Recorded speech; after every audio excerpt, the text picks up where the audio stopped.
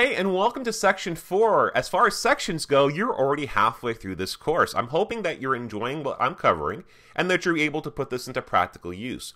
Don't forget, when you're done with this lesson or when you're done with this course, to please leave feedback and comments. That way I know what's working, as well as what I need to maybe change for future versions of this course. So in this section, we're going to talk about data. We're going to talk about how to back up your data. We're going to talk about how to encrypt your data, and we're going to talk about how to destroy your data. Now, let's first talk about backing up your information, backing up what's on your hard drive. Now, in the old days, working on a computer, it was worthwhile. And what I mean by that is when computers first came out, when we had the 386s and the 486s and the Pentium computers back in the day, the computers themselves were very expensive. The components were very expensive.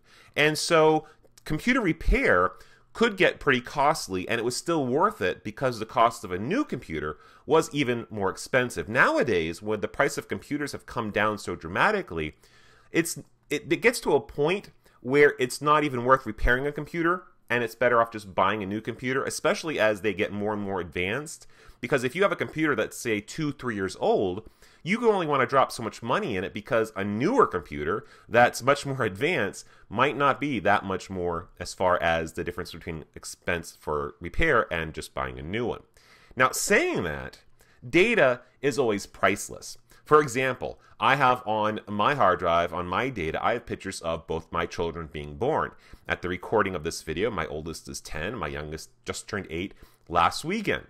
And I can never replace those pictures. And so those pictures to me are worth more than any computer I'll ever have or ever had.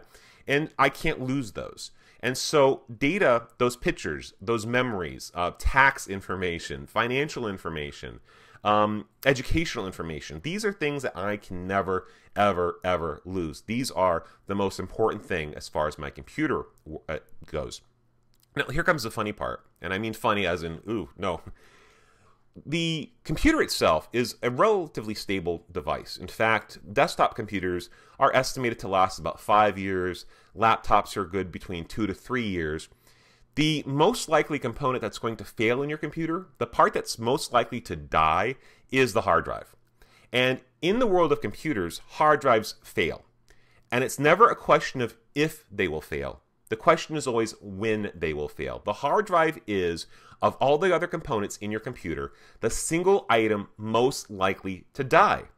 And I just said data is your most important asset on the computer. So here we have a computer with the most important part of the computer is the most vulnerable.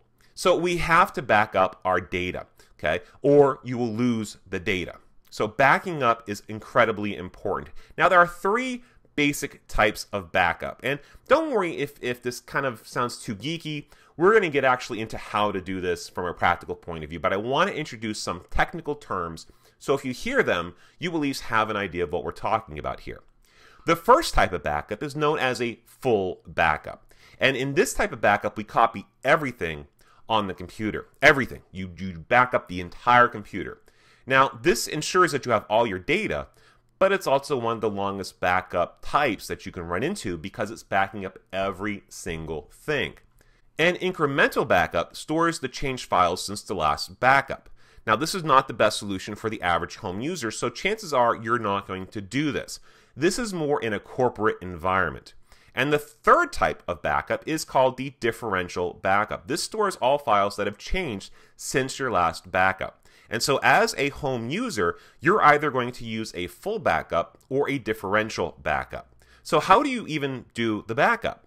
Well, if you're on Windows, you need to do the following you need to click on your Start button, go to your Control panel, click System and Maintenance, and then look at the Backup and Restore option. This is Windows version of backup.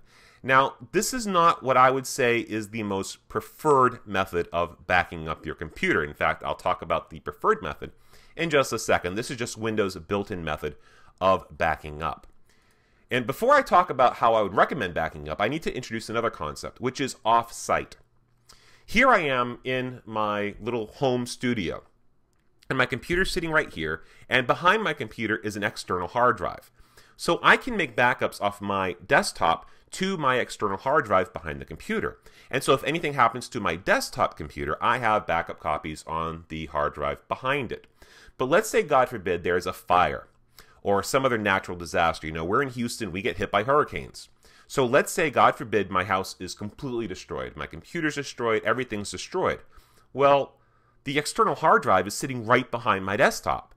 And so anything that would really destroy this desktop would destroy the external hard drive behind it. So when we're talking about off-site storage, we're talking about the fact that you don't store your information in the same location as the original computer. You, you keep the backup somewhere else. And this is really what we're talking about when we're talking about backing up. This is the core of backing up. In fact, offsite storage is done by a lot of corporations, governments, schools, because they can't afford to lose that information. So here is how, or here is what I would suggest using for online backup. And these are, uh, it's becoming a lot easier. A lot of this is handled for you automatically. Most of these, if not all of them, come with a monthly fee. Now, it's not very expensive.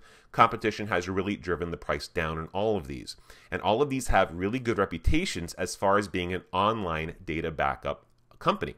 The first one is Backblaze.